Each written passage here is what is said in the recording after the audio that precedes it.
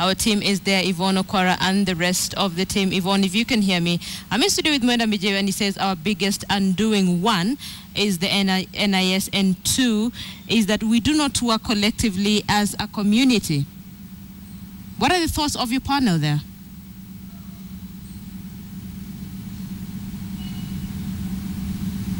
Indeed, yes. And those are some of the questions we will be tackling just a little later on as we look towards solutions and to see what sort of uh, way forward we can have. We now know we have a new person in charge of the NIS, but that conversation is coming a little later. We want to talk right now, thank you very much, Lindah. We want to talk now about communication in the wake of the Westgate siege. And I'd just like to start off very quickly. Um, Dennis, uh, you know, you're working in the Office of the Presidency. Where is the President today? He's in the United States of America for the United General Assembly. Okay. No government presence at the Westgate Mall today for the commemoration. In terms of optics, what does that say for you, Paul, message-wise? Uh, you know, that's news to me. I wasn't aware that there wasn't any government official. Uh, but I do understand there's certain protocols that are involved in inviting government officials to events. And to be fair, on uh, did they Thursday. need an invitation, though? Uh, there's particular protocols with. But they needed an invitation to be present at the Westgate. I think? do think we'll pose that to certain, Dennis in a minute. Uh, you know, I'm, I'm just, uh, right. you know, my as far as I'm mm-hmm. concerned, and I know there are certain protocols that are involved when it comes to inviting government officials to specific events. So I'm not, I wasn't an organizer. I can't speak on their behalf. But to be fair, uh, on Thursday, the First Lady mm -hmm. was involved in a commemoration right. of the Westgate uh, attack at the National Museum. National Museums, yes. Uh, which was... there was an exhibition there, yes. yes. But yes. Uh, it was pretty high level. The First Lady has... Uh, is quite representative of the administration, I must say. Today, the fact that there was no one? Even the Deputy President?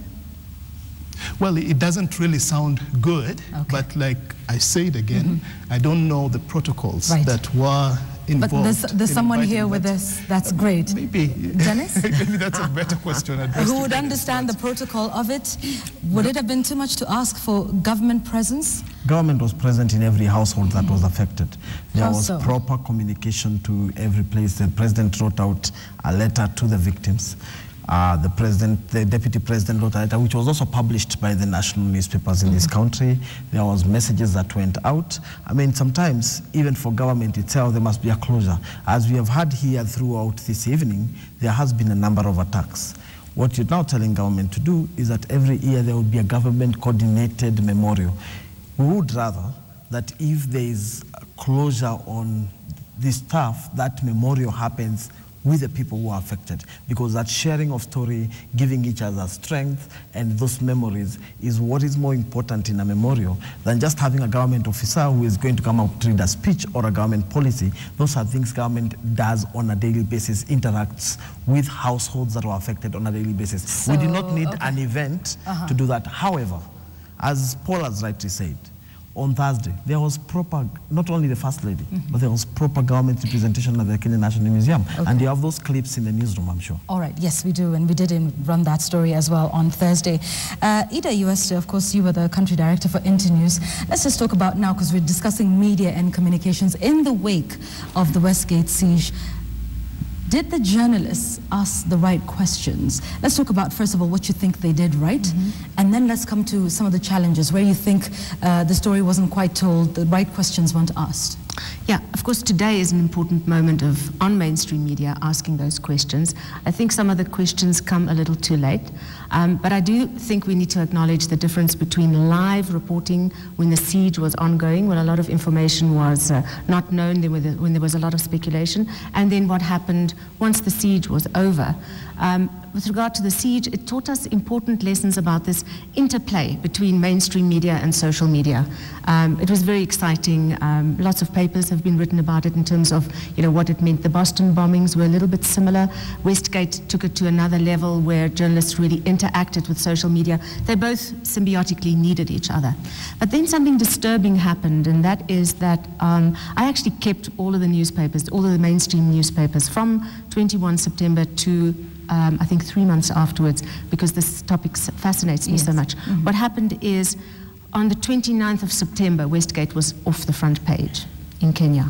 And it was only when Wolves at Westgate uh, was broadcast, which is a month later, Mm-hmm. that was brought back onto the agenda again. And uh, as we heard throughout your two broadcasts Mm-hmm. today and yesterday, there are questions that remain unanswered and that the media hasn't really pushed for. And other uh, questions like, what was the DNA science behind the forensics of identifying those Mm-hmm. bodies, both the terrorist bodies as well as uh, victims? Um, what about Westgate, this massive building So standing think- empty as a mall? Right. You know, we hear speculation about who's bought it, what's going to happen. The media hasn't asked those questions. Do you think there's some of the questions came a little too late because I do know uh, the local dailies today Yeah. were talking about that DNA process and how Yes. we probably haven't had enough information. Yes. Where are the bodies of uh, the said terrorists who were killed? What DNA has been done? Uh, Do you think the. They questions came- are coming a little too late? They're late very now? late. They're very late. They're very late for victims. They're very late, late for people who've been affected. But also in terms of helping us understand the process. That's what the media is. It's history in the making. And I mean, this history has been in the making since 1980, Norfolk, um, 1998, Mpeketoni. The questions, I mean, Mpeketoni was off the front page after three days. Um, it doesn't really reflect the extent to which geopolitics, what, where Kenya is at now, uh, what that actually means for this country and for the region as a whole when those stories go off the front page so quickly. Okay, all right, and we'll come back and talk about that, but um, and, and carry on with this discussion. But I do understand that Mwenda Mbijiwe, who is uh, at our Mombasa Road studios, has a question for our panel tonight regarding communication. Um, yes, indeed, uh, Yvonne. I would, uh, I would want to. I didn't hear Paul quite clearly on the protocol thing, but if I heard Paul well, he was trying to say one of the hiccups we had was something to do with protocol, government, you know, the bureaucracies. However, Mr. Paul, I don't know if you'd like to explain to the viewers today uh, about this problem of protocol and fighting terrorism. Because the moment we go into doing things the protocol way, remember 9 11 in the United States, it's written in the books, the protocol, that you don't shoot down a civilian aircraft. But terrorists have taken over a civilian aircraft and they have flown one into KICC, they have, they have flown the second into Times Tower, and now NSSF building is on target. Do we let that plane hit there or do we break the protocols? Because this protocol thing and terrorism never work.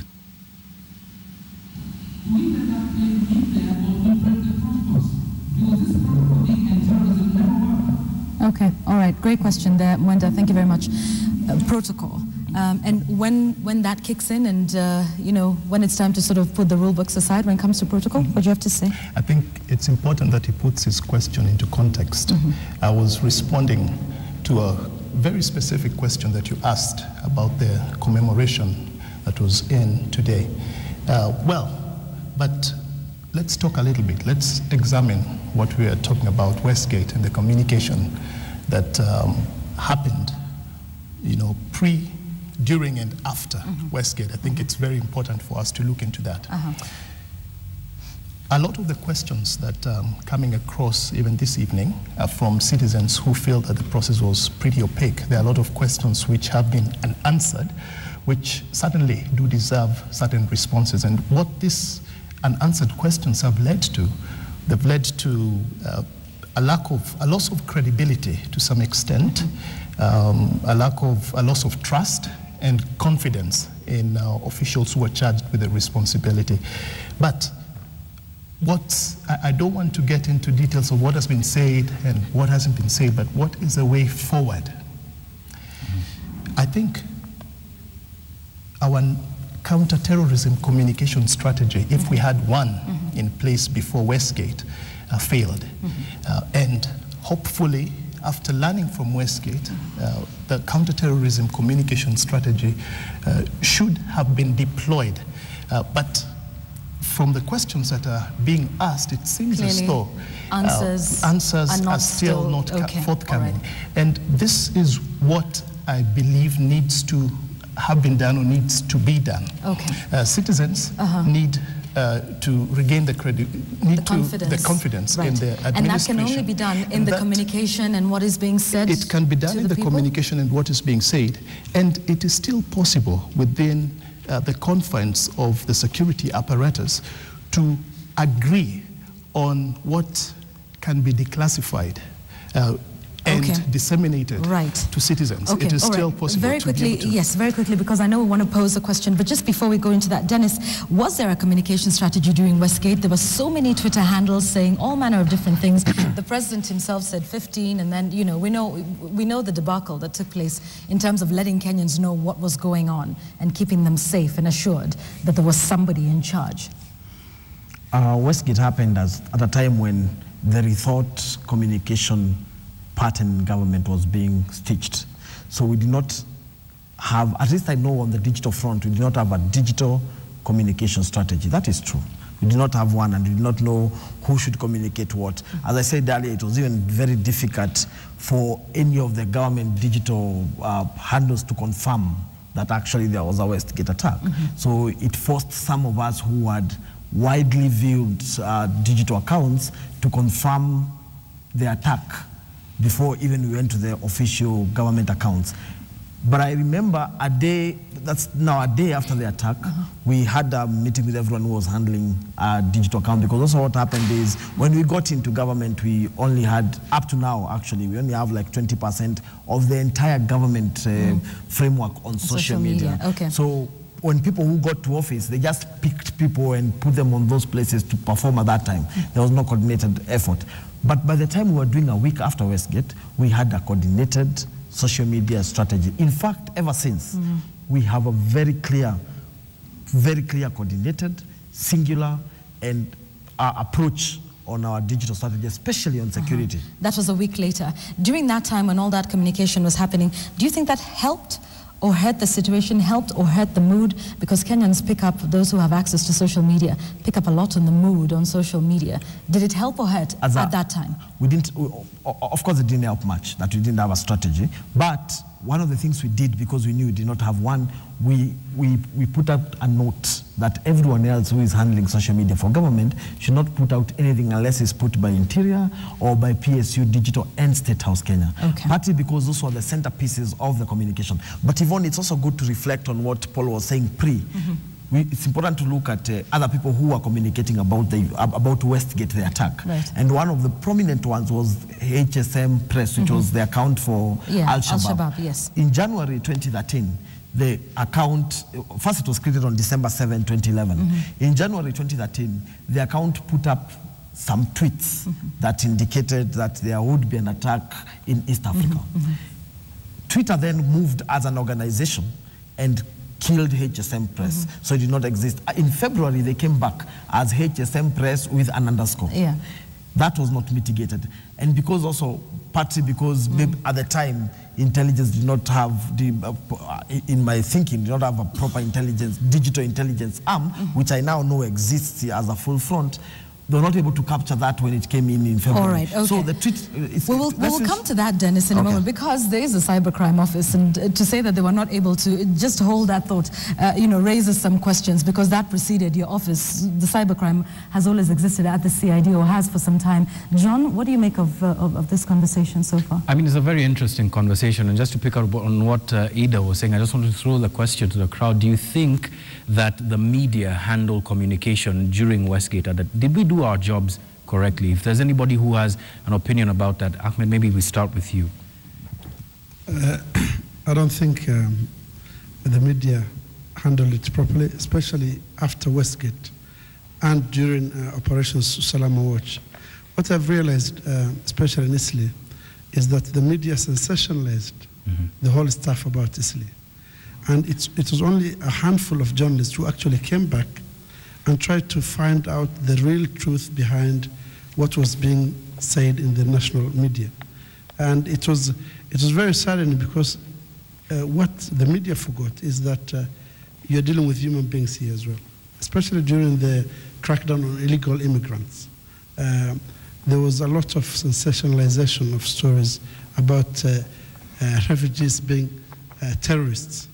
And also on the other side, the, the, the government, the Ministry of Interior didn't help because uh, um, the Department for Refugee Affairs, for example, is under Ministry of Interior. That, in my opinion, tells you that the government views refugees from a security prism. So in terms of communicating, we were following the lead of the government. Is that what exactly. you're saying? Exactly, And that, that was not fair. All right, Ali, maybe you can just take it on that side and see if there are any other opinions.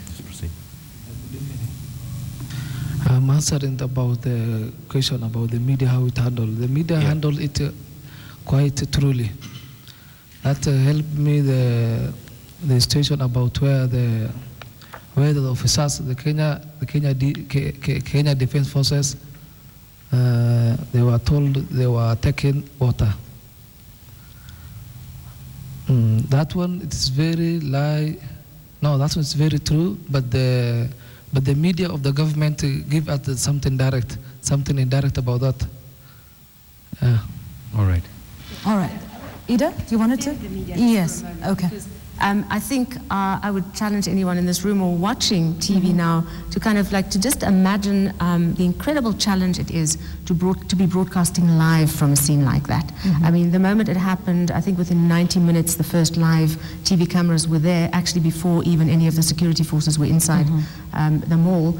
Um, when you, when you have poor communication, when, when, when the information isn't coming through, when there is this pressure to say something on air, when at the same time you're reporting on a siege, and as one citizen uh, TV reporter actually said on air, she actually apologized on air after shots were shown of security forces sort of finally entering the mall, saying, "Oh my goodness, I'm not sure if we should have shown that," Yeah, um, yeah. because you I can see remember the that. actual actual Yes. dilemma Yes. of broadcasting a siege, and therefore perhaps even showing or, or, or perhaps even playing into the hands All right. of attackers. Actually, in a supermarket where uh-huh. in a supermarket where even TVs are also being sold, and uh, most of the time are actually framed to the live television. Uh-huh. When you show actually this guy, guy is coming in, you uh-huh. actually expose. Actually, the Israel intelligence has a report which is again online and can be googled and found. They have analyzed that live coverage and have also analyzed 13,000 tweets that were sent out, Okay. including Instagram images All right. that enable. And they have they, in their conclusion they have actually said that we enabled the social media users and live TV coverage mm-hmm. for for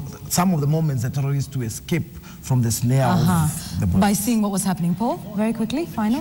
on the issue of the media and um, how the communication was handled, I think it leads me back to the, the, the, the, the issue I mentioned on the counterterrorism communication strategy. When you put together counterterrorism communication strategy, you bring together all stakeholders who would be involved in the in, in a crisis before it happens. And the media is also one of them. So expected protocols of engagement between all the stakeholders is clearly spelled out. Okay. And the counterterrorism communication strategy is also uh, simulated before a crisis. Uh-huh. And So that we all know what so to we know do, what, what to to do, say, how what to to, cover. and even government Right. uh, who was to communicate at that particular time would have been clearly stipulated within the same uh, within the same strategy. So But- having a, a quick SOP, but, yes. but, but let me let me just finish. conclude, but yes. Mm-hmm. coming coming coming to where we are at right now, uh, with all these questions, with all these initiatives that have been put together, like Usalama Watch and all with um, Nyumba Kumi, the question is, are citizens getting a buy-in? I Uh-huh. think that there's an issue. There's a disconnect between what, What the government is doing and what the citizens yeah, perceive. And communication I'm can sorry, be to- Uh-huh. communication could be the bridge. Uh, we need to, for example, have messages that inform when people meet as Nyumba Kumi. All right. Is there a standard template of how those meetings should be conducted? Okay, you know, all right. Those are questions All right. that. I, I, I understand that. We're running out of time, but I think your point is well made. I'd just like us to have some final thoughts, because at least on yours, it's understanding that we need to have a buy-in, and that needs to start with communication. Ida, your final thoughts on this way forward in terms of media and how Yeah. to report this better? Um, Achari, talk about a protocol because, but of course, I mean, nobody expected this event. I think we're all acknowledging that. A year later, neither the media nor the government, the security forces, there are lots of mistakes that have been made. We've said earlier the, the, the questions haven't really been asked about all of the mistakes. But I mean, in the absence of a protocol or in order to respond to something so unusual, what really helps is if, if there's solid and sound ethics, if this kind of interplay and interaction between mainstream media and social media can uh, kind of learnt from this process, then I think, I mean, I think if anything similar should ever happen again, I'm really quite convinced that we'll see an improvement Okay. in terms of the interplay. All right, so for you, lessons learned in that one. All right, um, I think we've gotten that. We now have a communication strategy, digitally at least. You're talking about a buy-in, you're saying we have lessons learned. And of course, those are some of... Um, the lessons we've learned, and that, of course, uh, talks about the two days that we've been here, KTN bottom line after the siege, and of course taking an audit not just of government, of security forces, but of media as well, and of us in general. And of course, the questions need to be asked, and we will continue to ask them. And we thank you for staying with us. So, of course, do stay with us and keep your comments coming in. This is KTN Bottom Line. My name is Yvonne Okwara. We thank you for being with us this far.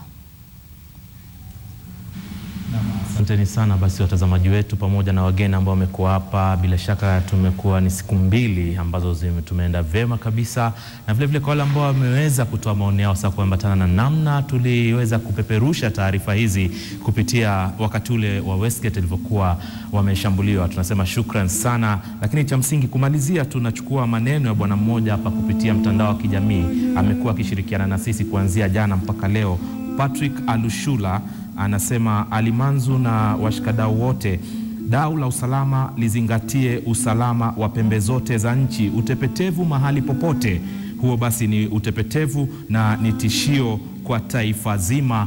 Hashtag ama alama ya reli after the siege. Asanteni sana nyote ambao mmekuwa mkitufuata pia kupitia kwa mtandao wa kijamii. Mimi naitwa Ali Manzu, asante kwa kutazama. Naam, shukran sana. Tunasema kuzungumza ndiyo kutafuta suluhu, na mficha uchi bila shaka hawezi kuzaa. Leo ulikuwa ni mjadala wa wazi, na hadi hapo wakati mwingine, panapo majaliwa yake Mwenyezi Mungu mteremezi, nasema umkilala mlale salama. Mimi nimekuwa wenyu Muhammad Ali.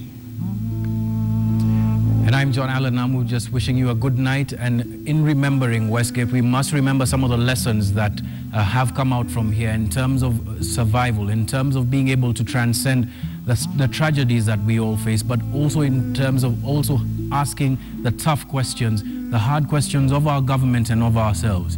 It is only through asking these questions, it is only through interrogating the kind of issues that we go through as a country that we will be able to become better fix what is wrong with our country. Even us in the media are determined to do that. Once again, this has been a special broadcast commemorating one year since the Westgate attack. And we'd like to wish you a good night and thank you for watching from here at City Hall in Nairobi. Good night.